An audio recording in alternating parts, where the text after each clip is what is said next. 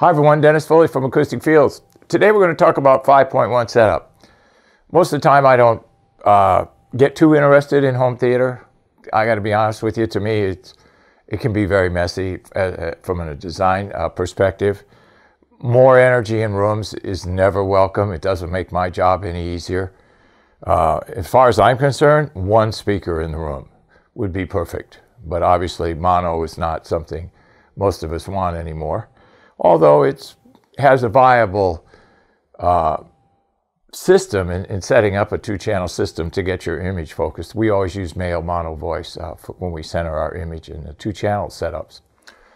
But 5.1 setup we know is, you know, front, rear, front and rear speakers, center, left and right, subwoofer. So the point one is this uh, special effects channel, so to speak, that they grant for that. So I think it's low frequency effects, LFE. So we just finished a project, well, almost finished. We're getting some new gear. Oh boy, new gear. Everybody likes new gear, new boxes. So Michael's Room is a project we just finished.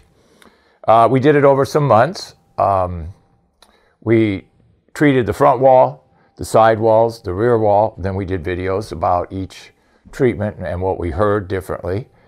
And then we focused on the gear. We moved the subwoofer out. And then we got some new electronics, new amplifier, new processor, new cables, and new speaker stands, our new technology, our new carbon technology in the speaker stands. You'll be able to see all that in upcoming videos. But what I quickly realized by working in Michael's room is that setup is so important. Front, center, left, right, rears, it's all critical. And the photos I see in room forms, what people do for setup, it's the opposite of what you should be doing, okay? So you got to really realize that setup is critical. Let's talk about front of the house. We'll borrow a term from uh, the live uh, music industry. So the front of the house is our left channel, our center channel, and our right channel. Those three channels have to be in the same sound field. So if we have a speaker here and a speaker here, a lot of times the center channel's down here. I've seen it up here. Uh, I've seen it in places I don't even want to talk about. So the bottom line here is it's got to be in the same sound field, okay? That's it. Because all of these three channels work together to create a cohesive sound stage. And if you've got one speaker firing from the floor, you got one firing from the ceiling, it's just going to be a nightmare.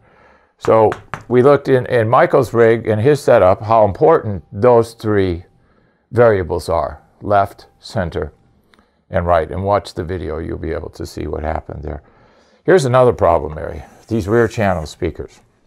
Now Michael's room is a small room, actually a living room, and we have small monitors. So we can move them around easy. We can put them on stands, move them around, position them, tune the room. It's amazing the difference proper setup with rear channels does. You can actually take the image, if you get the rears and the front of the house balanced, you can actually put that image right in front of your listening position, right in the center of the room, if you really uh, follow the right rules. And we got to have height, we got to have distance, all that's got to be matched. When engineers record things in 5.1, they use a setup that you see here. You can see the distances in the graphic.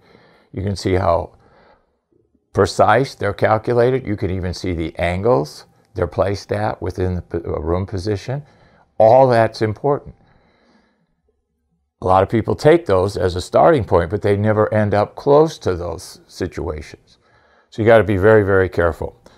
The point one or the low frequency effects channel placement, critical. Just like placement is front, center, left, right. Okay, that's very important. So is the subwoofer. Everything has to work together as a system. And stop doing this, well, I had a place for it, so I put it there. That is the last strategy you should have.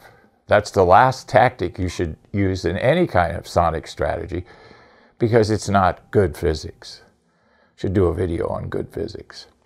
So the bottom line here is you got to use the system approach and everything is important. Remember, getting good sound quality is about doing a lot of little things correctly, but more importantly, in the correct order. So when we're treating rooms, we apply that philosophy, and you should apply that philosophy when you're setting up your home theater systems. Hope this helps. Thank you. Thank you for watching this video, and if you liked it, please give us a thumbs up. We also have a newsletter that you can subscribe to, so please do that because we offer special price discounts to only those on our newsletter. And then don't forget about our forum. We have started a forum on our own website where people ask questions, and I usually get a chance every couple days to look at it. There's an interchange between people on the forum, and we'll give you real answers uh, on a regular basis, so that'll help you. Thank you.